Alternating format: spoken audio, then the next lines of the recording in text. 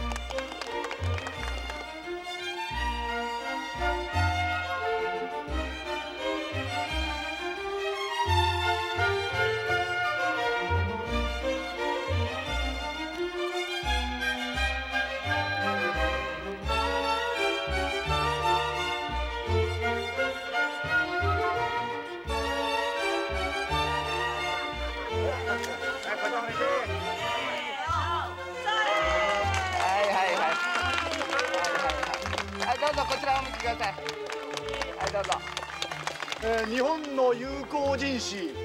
笹川良一先生が万里の長城を修復にご協力いただいた記念であります北京市御殿翼長城旅遊区展示所1989年。9月。